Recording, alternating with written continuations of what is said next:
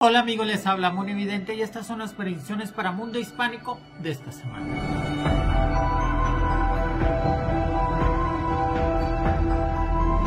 Los signos que van a traer toda la suerte es Aries, Géminis, Virgo y Escorpión. Y sus números mágicos 07, el número 13 y el número 21. Hoy es 12 de abril, es Semana Santa, es semana de reflexión total. Pero mañana va a ser el día cabalístico de este mes, el 13 de abril. Que definitivamente la carta del mago está sobre este día, el 13 de abril, para que toda la humanidad tenga esa comunión con Dios, con lo espiritual, con el Espíritu Santo.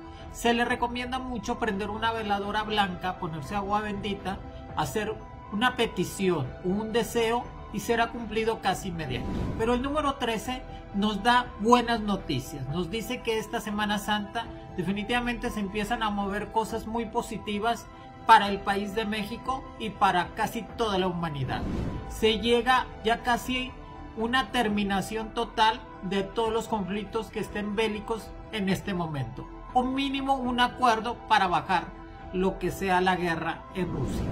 Pero la carta del mago me dice que definitivamente van a empezar a crecer cosas mejores en cuestiones de Sudamérica y parte de Centroamérica. Pero hablemos de la carta del horcano.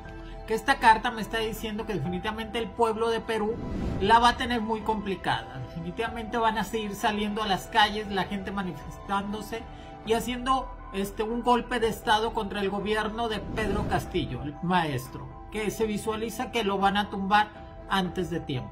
Pero la carta del, del horcado también me dice y me visualiza que se, que se ve un golpe de Estado más que todo en el gobierno de Colombia por cuestiones de elecciones que van a hacer ahora en mayo que no quieren a la izquierda no quieren este que el régimen se vaya a ser partidario al régimen izquierdista así como es en Chile Así que se visualizan empezar a hacer golpes de Estado, se visualizan atentados en cuestiones de supermercados, en cuestiones de este, dirigentes o candidatos a la presidencia de Colombia.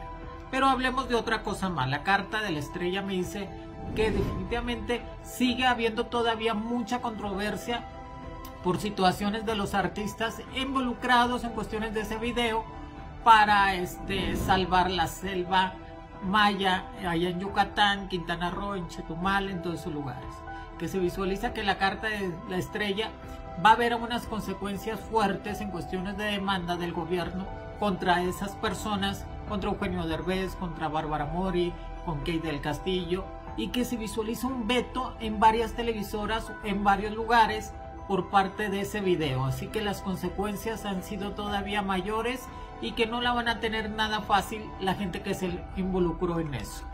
Pero la carta del loco me está diciendo que se visualiza la Guardia Nacional en México, la Guardia Nacional de Estados Unidos en México para estar pescando o estar haciendo un control completamente contra toda la mafia, contra todo el crimen organizado que ella se visualiza que el presidente de Estados Unidos y la Kamala Harris van a estar dando el decreto para invadir México en cuestiones de la Guardia Nacional para controlar toda esa inseguridad, toda esa violencia y que definitivamente la gente que estuvo involucrada con eso de estar invitando a los dirigentes rusos o estar partidarios, se les quita la visa americana, se les quita los bienes en Estados Unidos, cuentas americanas y que definitivamente va a haber un castigo contra esas personas por estar atentando contra el vecino país de Estados Unidos. Cosas muy fuertes.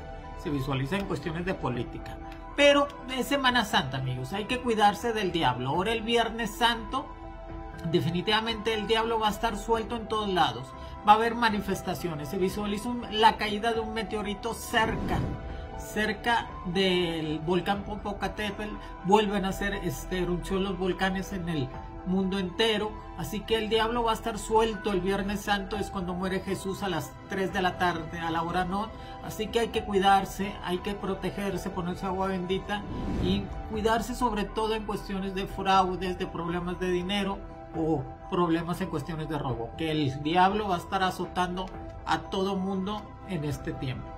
Pero hablemos de alguien más que está en controversia total.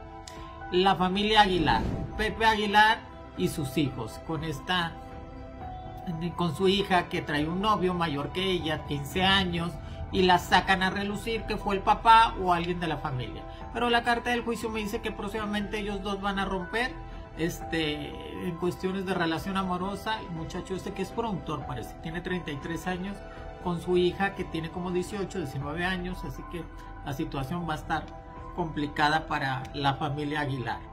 Dios me los bendiga amigos, cuídense mucho, es Semana Santa, si van a salir disfruten de lo más sano que puedan y no olvidarse de Dios que dio la vida por todos nosotros y hizo el perdón de los pecados. Los quiere Monevidente.